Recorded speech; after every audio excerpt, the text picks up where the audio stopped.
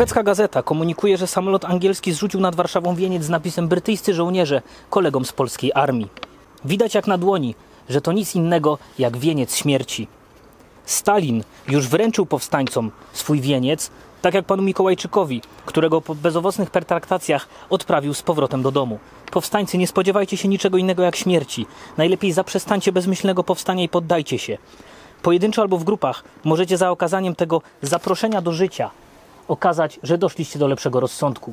Ulotki o takiej treści rozrzucili Niemcy w powstańczej Warszawie w odpowiedzi na alianckie zrzuty z pomocą dla Warszawy. I o tych zrzutach w dzisiejszym odcinku Zabytków Nieba. Do oblężonego, okupowanego miasta niełatwo się dostać. Jedyna możliwa droga prowadzi z powietrza. Samoloty, które miały dostarczyć pomoc Warszawie, miały przed sobą niełatwe zadanie. Lot odbywał się z Włoch, z Celony albo z Brindisi. Trzeba było wystartować najczęściej w nocy, bezpośrednio nad Adriatyk, następnie pokonać tereny okupowane przez Niemców z artylerią przeciwlotniczą, z eskadrami myśliwców nocnych, których szkoła mieściła się w Krakowie. Nie było przy tym specjalnie żadnych pomocy nawigacyjnych. Trzeba było trafić do celu i dokonać tam zrzutu. Do wykonania tych misji wybierano czterosilnikowe bombowce. Consolidated B-24 Liberator, Handley Page Halifax albo latające fortece B-17. Samoloty startowały mocno obciążone z dużą ilością paliwa, zabierały maksymalny wagomiar ładunku zrzutowego, a sama amunicja do broni maszynowej w takim bombowcu ważyła około tony. Jak wspominali lotnicy, punktem nawigacyjnym, dramatycznym, ale nie do pomylenia z niczym innym, była sama płonąca Warszawa, którą było widać już po przekroczeniu linii Tatr. Samoloty zamiast ładunku bombowego zabierały zasobniki zrzutowe. Te zasobniki miały określone typy. Był zasobnik typu H, zasobnik typu C. Tutaj są ich dane wymiarowe. I również te zasobniki miały określony rodzaj ładunku. Dzięki temu łatwo było przez radio ze strony ruchu oporu czy, czy państwa podziemnego złożyć zamówienie. Można to tak nazwać, że potrzebne są na przykład cztery zasobniki typu C, dwa zasobniki typu H. Było z góry wiadomo, co w którym z tych zasobników ma się znaleźć. Dla zrzutów nad Warszawę te zasobniki zawierały następujący ładunek. Przede wszystkim znajdowała się tam broń. Typowym pistoletem maszynowym, jaki był w zrzutach, był brytyjski Sten. Tak wygląda magazynek do Stena. On używał amunicji systemu Parabellum, zatem tej samej co pistolety niemieckie, co Lugery, tej samej co polski WIS. Sten był oprócz tego bronią przeznaczoną do konspiracji. Jego było łatwo zmontować, rozmontować. Tak wygląda kolba do Stena. Tutaj mamy osłonę płomienia. Cały sten rozkładał się łatwo bez użycia narzędzi na trzy takie części, więc można było stosunkowo łatwo schować go na przykład pod kurtkę. Ponadto polskie zakłady konspiracyjne produkowały pistolet maszynowy Błyskawica, który był konstrukcyjnie oparty na stenie i wykorzystywał takie same magazynki i amunicję. W zasobnikach znajdowała się również brytyjska broń, karabiny maszynowe typu Bren i granatniki Piat z magazynkami i amunicją. Zrzucano także granaty, leki, środki opatrunkowe i broń, która była zdobyta wcześniej przez aliantów na zachodzie na Niemcach. W ogóle w zrzutach znajdowały się również materiały wybuchowe, radiostacje, środki łączności, a ciekawostką jest pojazd, który nazywał się Wellbike. To był opracowany przez Anglików taki konspiracyjny, zrzucany w zasobniku motocykl czy motorower. E, oni tam siedzieli w takim e, ośrodku w Welwyn i wymyślali właśnie wyposażenie dla szpiegów. Oczywiście taki motorek e, to było coś, co na kilometr dawało komuś znać, że jestem szpiegiem albo angielskim skoczkiem, w związku z czym nie znalazło to specjalnego użycia, ale taki składany motorowerek również w zasobnikach e, zrzutowych w czasie wojny można było znaleźć. Oczywiście do powstańczej Warszawy e, Wellbike'ów nie zrzucano. Zasobnik z jednej strony miał spadochron, a z drugiej taką mającą się zgnieść nawiercaną część, która amortyzowała upadek na ziemię. Każdy lotnik przed misją otrzymywał taką mapę, na której była zaznaczona Warszawa z głównymi drogami i obszarami walk. Zaznaczone tam były przede wszystkim cztery mosty stanowiące najjaśniejszą pomoc nawigacyjną, jak również zaznaczone były odpowiednim kolorem drogi, które są zajęte przez Niemców i obszary miasta, które są we władzy powstańców i wroga. Miejsca zrzutów oznaczano umownymi literami lub figurami ułożonymi z lamp naftowych. Był to krzyż lub gwiazda i w tych miejscach na zrzut oczekiwali powstańcy z latarkami. Oczywiście te zrzuty wykonywane były w nocy. Siekiera, motyka, piłka, szklanka w nocy, nalot w dzień, łapanka, siekiera, motyka, linka, drut, zapal lampę, będzie zrzut. Często przyjęcie zrzutu było rolą kobiet. Wybuchy, pożary, gęsty dym i częsta zmiana sytuacji taktycznej na ziemi nie ułatwiały lotnikom dokonania celnego zrzutu.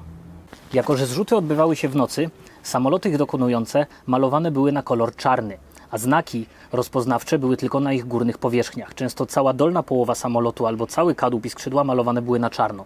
Używano do tego specjalnej farby, która nazywała się RDM albo Special Night i była to mieszanka pochłaniająca światło matowa. Była to farba, która zawierała cząstki węgla. Był to lakier, który był matowy i bardzo szorstki, przez co spowalniał samolot o nawet 7%. W przypadku bombowca może nie było to najistotniejsze, ale istotne było to, że farba ta zwiększała zużycie paliwa. Samoloty podchodziły do zrzutu w konfiguracji do lądowania. Miały wypuszczone klapy i otwarte podwozie. Prędkość spadała nieraz do nieco ponad 200 km na godzinę, a wysokość była minimalna, żeby tylko otworzył się spadochron od zasobnika. Piloci wspominają o dymie z pożarów, który wypełniał kabiny, wspominają o locie nad Wisłą tak nisko, że musieli wznosić się, żeby przeskoczyć mosty, a jeden z liberatorów rozbił się 100 metrów od miejsca zrzutu, dlatego że lecąc nad ulicą zahaczył obydwoma skrzydłami od dachy domów. Niski lot ułatwiał celny zrzut.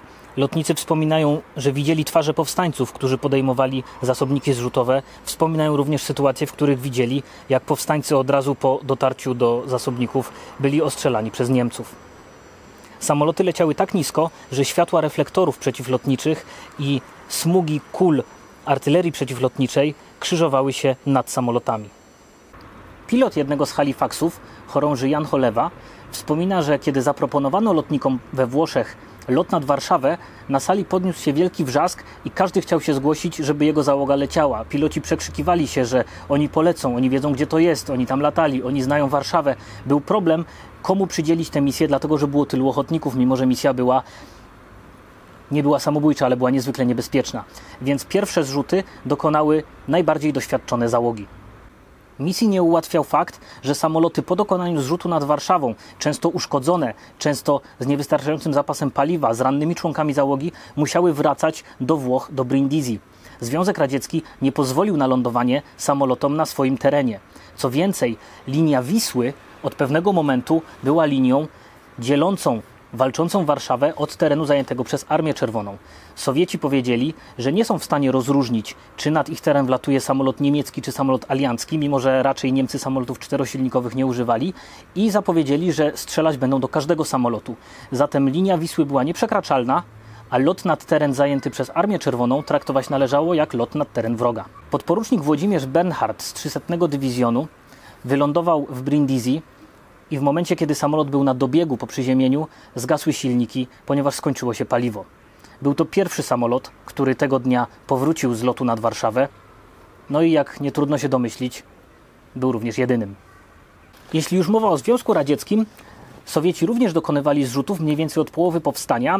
Nie mam dokładnych danych na ten temat, ale wykorzystywali samoloty PO-2, czyli dwupłatowe kukuruźniki, które lotem ślizgowym zniżały się nad ulice i budynki i dokonywały zrzutów. Rosjanie mieli taktykę, że przynajmniej część zasobników była zrzucanych bez spadochronu, w związku z czym są wspomnienia powstańców, które mówią o tym, że wyposażenie w nich znajdujące się nie nadawało przez to do użytku. Rozbijały się nawet puszki z konserwami. Ale istnieją też zdjęcia, gdzie powstańcy wyciągają z zasobników kompletne i sprawne sowieckie karabiny Diektariewa. Jeśli chodzi o ciekawostki, to nad Warszawą pojawiła się również jedna Dakota, która dokonała zrzutu trójki alianckich agentów. Podczas wyzwalania Europy Amerykanie prowadzili loty w ramach operacji Frantic. To były loty wahadłowe. One polegały na tym, że bombowce startowały z wyzwolonego już zachodu, leciały nad terytoria okupowane przez Niemców, bombardowały tam cele, lądowały w okresie, w którym zgadzali się na to Sowieci na terenach zajętych przez Armię Czerwoną. Następnie samoloty tam były uzupełniane, serwisowane, w sensie dostawały nową amunicję, paliwo i wracały na zachód Europy, po drodze drugi raz dokonując nalotów na cele niemieckie. I w ramach operacji Frantic 7 zamiast bombardowania celów dokonano największego jednorazowego zrzutu dla okupowanej powstańczej Warszawy. 18 września 1944 roku z brytyjskiej miejscowości Southwold wystartował samolot de Havilland Mosquito, tzw. Tak drewniany cud, który leciał robiąc rozpoznanie warunków i pogody dla armady powietrznej, która liczyła 110 latających fortec B-17 z trzeciej dywizji bombowej 8 Armii Powietrznej Stanów Zjednoczonych. Dowodził tą armadą pułkownik pilot Karl Trasdell. Samoloty te były eskortowane przez 154 Mustangi. W sumie przygotowanie tej operacji wymagało pracy 5,5 tysiąca ludzi na ziemi i wzięło w niej udział 1400 lotników. Flota powietrzna dotarła nad Warszawę i w ciągu 10 minut zrzuciła 1284 zasobniki ze sprzętem. Wywołało to w Warszawie euforię. Początkowo ludzie myśleli, że jest to desant polskiej brygady spadochronowej.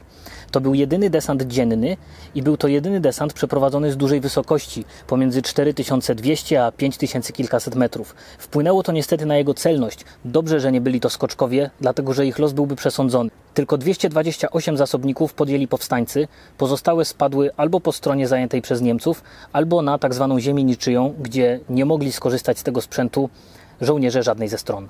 Sam zrzut okazał się niecelny, ale podczas operacji Frantic 7 stracono tylko jeden bombowiec B-17 i wedle różnych źródeł około trzech myśliwców Mustang. Planujący tę operację liczyli się ze stratami rzędu 40%, tak jak miało to miejsce w przypadku nocnych nalotów alianckich. Niemcy wyśmiewali te wysiłki, drukując wspomniane na początku ulotki z przepustką do życia, ale my pamiętamy o 261 lotnikach z Polski, Wielkiej Brytanii, Południowej Afryki i Stanów Zjednoczonych, którzy oddali życie na polu chwały, niosąc pomoc walczącej do końca powstańczej Warszawie.